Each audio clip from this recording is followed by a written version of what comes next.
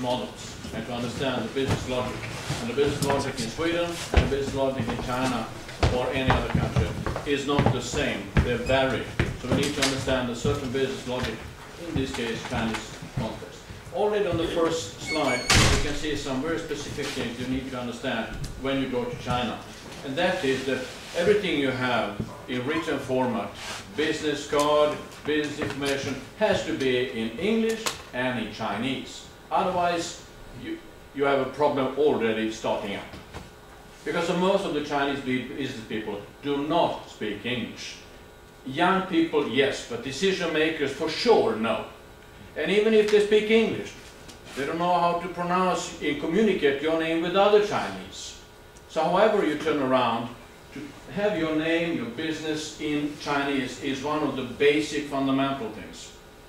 This is why I have this picture to show you and start with.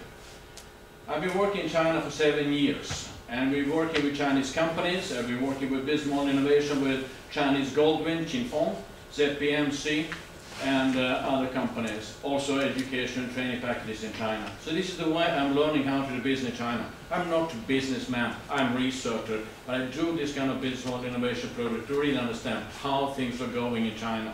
And only through being, working there, I understand. Let me start with showing the picture of this city. If you've never been to Shanghai, please go there. If you ask people the cost for recruiting a middle-level manager in any international companies, they tell you that the price for recruitment is about 500,000 Swedish crowns. That is about 400,000 RMB. You think this is high price? Nothing compared to the cost to make that businessman or businesswoman successful in the business. If I ask business people, how long time does it take before they are successful? They tell me years. And this is the number of money they lose for every recruitment. Why? Because that is the loss of income before it takes, before they, they learn how to do business in China.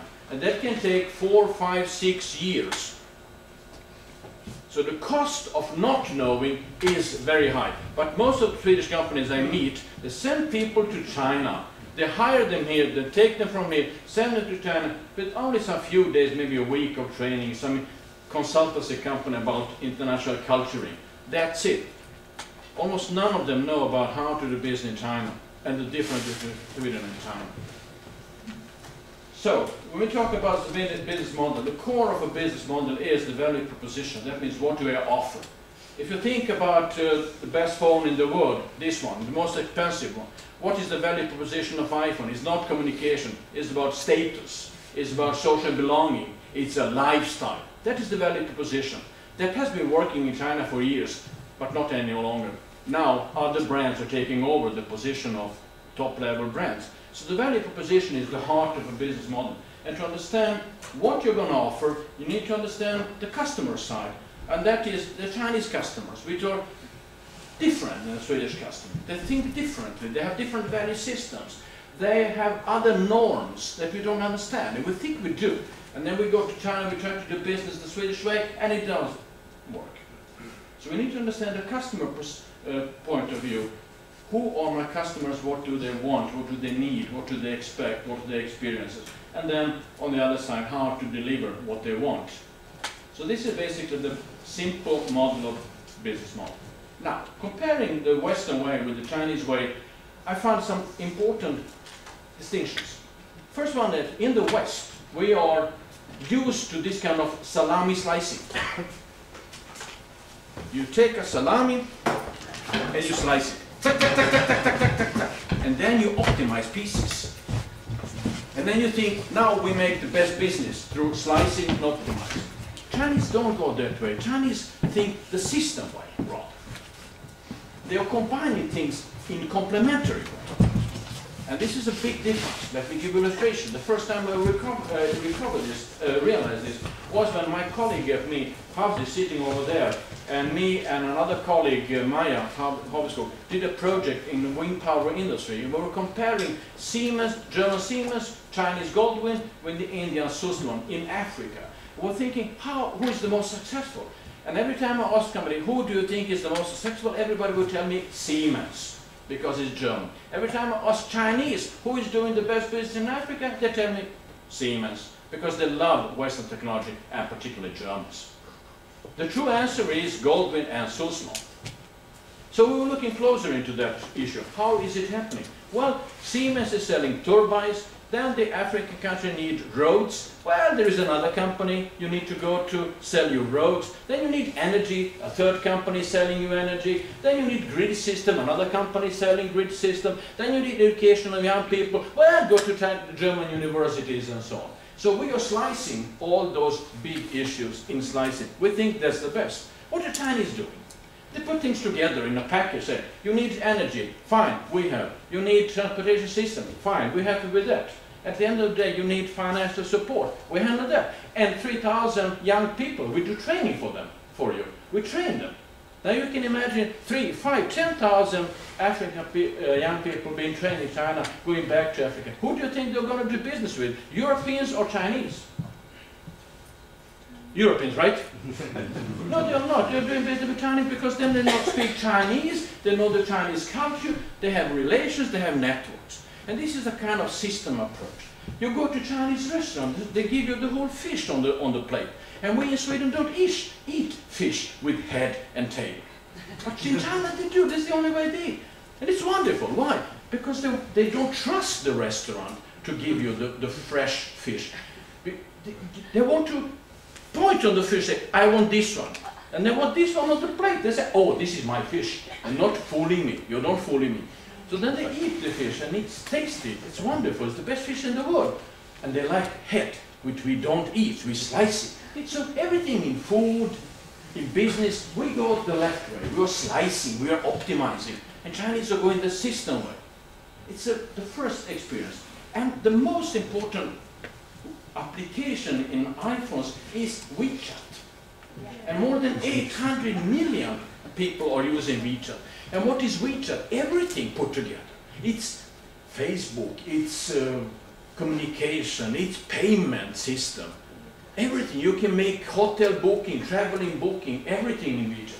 And that is this kind of Chinese system approach, putting things together. And you only need WeChat in China. You have everything. You need. You don't need wallet. You don't need Swish SMS payment system.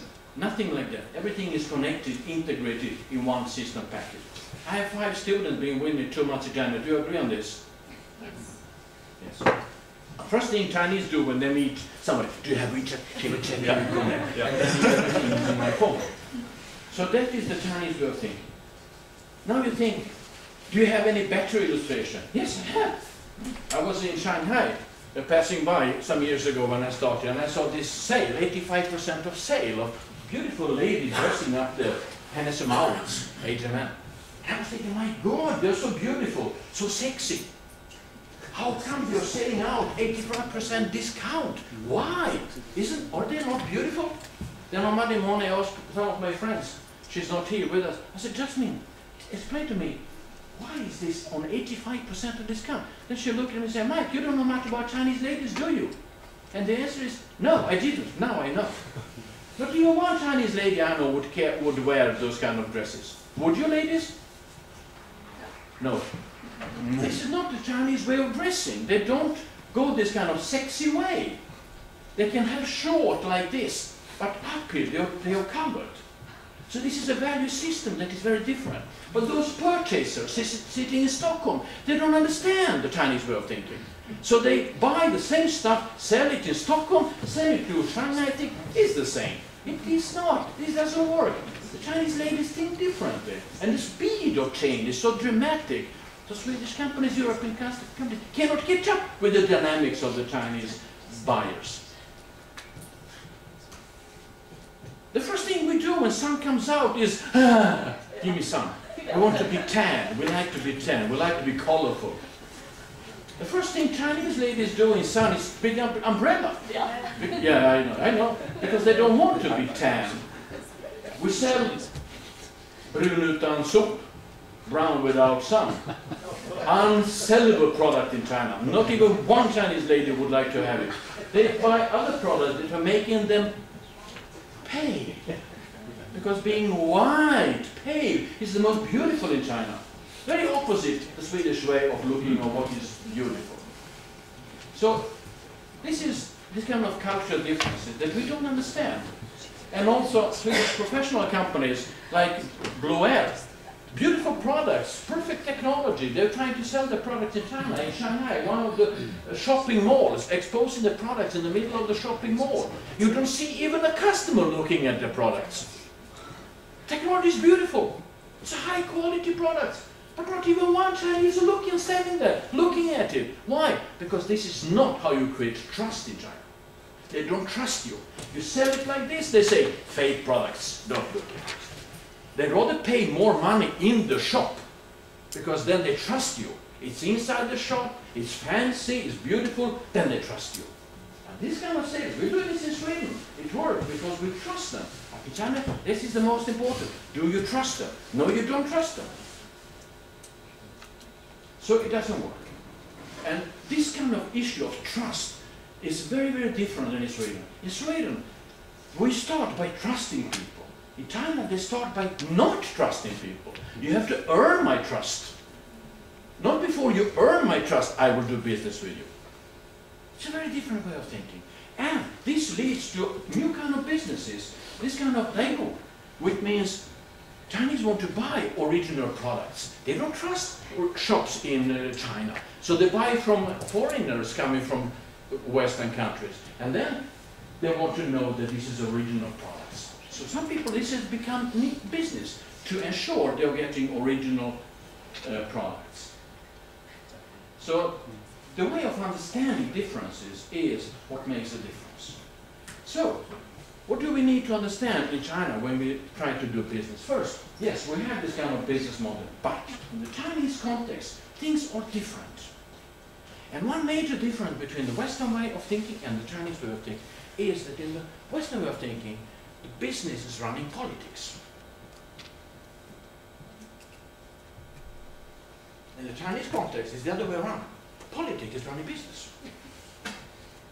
Which means we need to understand the interrelation between politics, institutions, and regulations and law. And the development in China is so high, the speed is so high. So the regulation and law is always behind the reality of life and business opportunities. And you also need in Chinese context to be very understandable in where is or the winds blowing politically so that you can understand the linkage between politics and business. And also in the Chinese context, something that is important is corporate social responsibility, not as something marketing, but actually a core of business value proposition. Do you understand where China is going? Well, start by reading the Communist Party annual meeting memorandum. When they in plain text indicate what they want to develop, where they want to move, where they want to create environmental issues, pollution issues, this kind of food safety, food security. That is, from the political point of view, very important issue for the Chinese society to develop. That means companies wanting to do business in China, if they tell Chinese, I want to do business in China, they will tell you, okay, I want to do business in China, but I also want to develop the Chinese society to help with the pollution issue. Ah, you are very welcome. So you need to interact with this kind of direction of the Chinese society development, where China is moving, to find this kind of linkage. And we call it symbiotic relation between politics and business. Now you say, this is typical Chinese. No, it's not. Because this is how Sweden developed industry in the 30s, 40s, 50s, 60s, and 70s. During this time of period, Chinese business were very highly interrelated with the Swedish politics. When Ericsson developed the new Axea telephone communication system in the 70s, it was a decision between Ericsson and Wallenberg family and politics to go this way. So this is the way we have been running our operations for years. Then we came to the 80s and 90s where we separated business from politics. Everything, there were markets, market forces running operations. Still, we have a lot of connections, but we don't talk about it in the West. We are extremely good in pretending that don't exist, that there is a separation between politics and business, but it is there. But in the Chinese context, it's a lot more open that this is important to understand for the development. And because of that, ethics is important in the Chinese context. For example, many years ago, you could uh, see many companies in China renting bikes, yellow, blue, and other colors. Renting bikes. They make big money on fee for putting yourself, to register yourself as the user. Very little money for renting the bikes. This business model is now becoming unethical. Why? Because they are squeezing people, putting more money in, you, uh, you uh, register as user, and then we don't care about giving you services. Now the Chinese government is saying, we don't like this kind of business. When it's unethical, even the Chinese government is saying, no please, we don't want this. Change, move away. So, ethics and corporate social responsibility are core components in a business model if you want to make successful business in the Chinese context. While in the Western, this can be to a large extent a marketing issue. And